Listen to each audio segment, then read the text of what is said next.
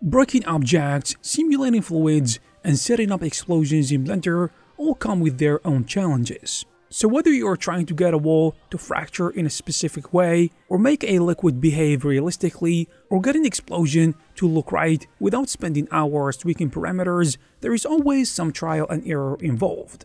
But B3FX Studios have four great add-ons which are Fracture Lab, Fluid Lab, VDB Lab, and RBD Lab that focus on these types of simulations. Each one of them is designed to handle a different part of the process, from breaking objects to handling physics, fluids, and volumetric effects.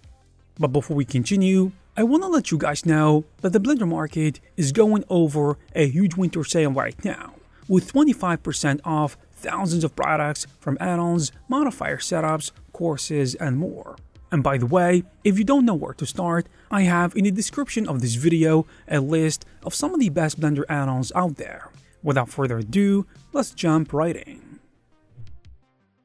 You see, Blender's built-in tools allow objects to be fractured, but they don't always offer enough control. The default fracture methods tend to generate random breaking patterns, which may or may not fit what is needed for a scene. If a more structured fracture is required, such as cracks following a specific pattern, it often takes additional manual work. Another issue is that once a fracture is applied, modifying it later isn't always that fun. That's why we have Fracture Lab, which addresses all these limitations by allowing both controlled and random fracturing, with an option to edit fractures at any stage. The ability to adjust fracture resolution is particularly useful. So instead of immediately committing to a highly detailed fracture, which can slow down a scene, it is possible to start with a low resolution version and refine it later. This makes it easier to test different breaking patterns without affecting performance too much. And for large projects, where multiple fractures may be involved, this flexibility can be a significant advantage. Another feature is the damage module, which helps simulate natural wear and tear. Clean fractures often don't look realistic, especially on materials like stone, concrete, or aged wood. And these modules allow for rougher edges and surface imperfections to be added, making objects look fractured as opposed to those clean, perfect cuts. This reduces the need for additional sculpting or texture work. And in my opinion, this can be really helpful, especially when working under time constraints. Fracture Lab also includes multiple ways to generate fractures, you see, you can define exact break patterns by manually placing cuts or let the tool generate randomized fractures. And if the goal is to create destruction in a constructed way, such as simulating cracks before something collapses, this level of control can make the process easier. In addition, new features can be layered on top of existing ones. And this is important because it makes it possible to add more detail without starting over. Also, one aspect that can be expanded upon is the number of built-in fracture presets. While it is possible to create custom patterns, having more ready-to-use fracture types could speed up the workflow.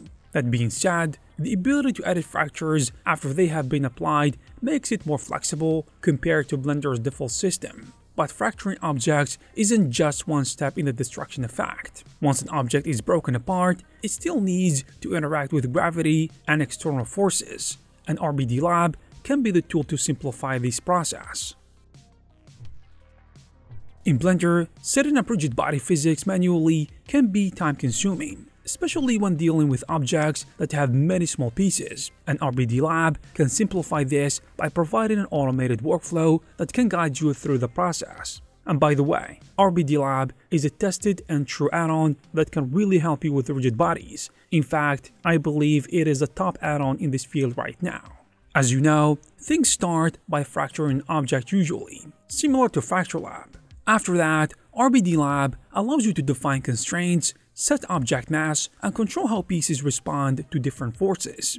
A key part of this system is the glue feature, which determines how much force is required before fractured pieces start to separate. So instead of everything breaking apart instantly, objects can be set to hold together until a strong enough force is applied. This can be useful for simulating different materials, like wooden beams for example, which might bend and crack before fully breaking, while a concrete structure might hold its form until a specific threshold of stress is actually met. The add-on also includes tools for adding debris and dust effects. So when something breaks in reality, there are usually small particles and fragments that scatter upon impact, and these details help destruction effects look more natural by manually setting up secondary particles, which can take time. And having debris and dust integrated into the add-on makes it easier to include these elements without having to set them up separately.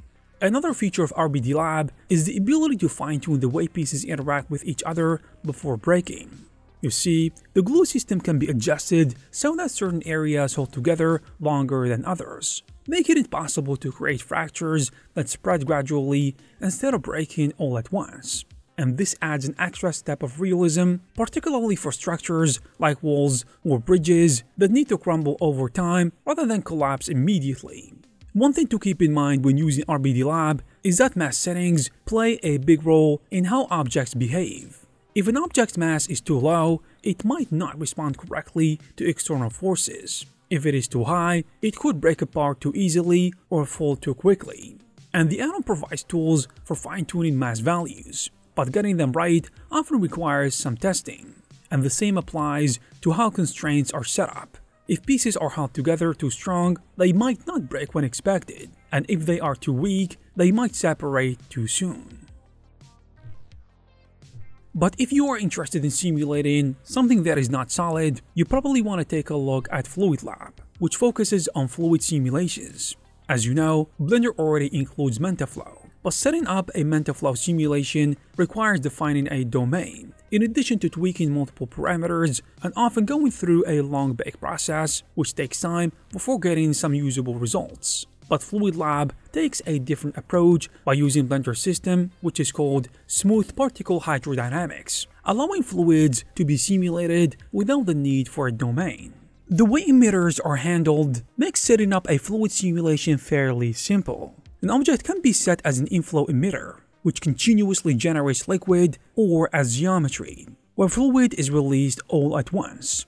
There are also parameters for viscosity, particle size, and emission rate, which control how liquid behaves. One of the most noticeable limitations is that different fluid types don't seem to interact properly.